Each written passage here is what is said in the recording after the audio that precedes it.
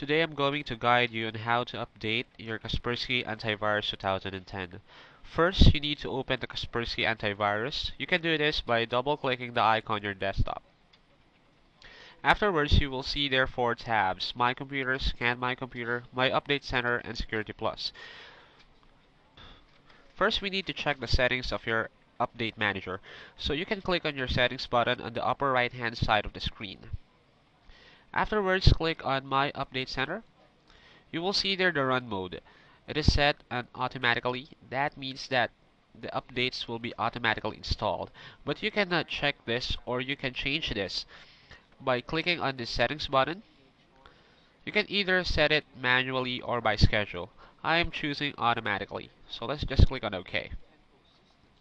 Afterwards, you can now click on My Update Center. To start the update, just click on the Start Update button. You just need to wait for it to finish. Currently, it is on 0%.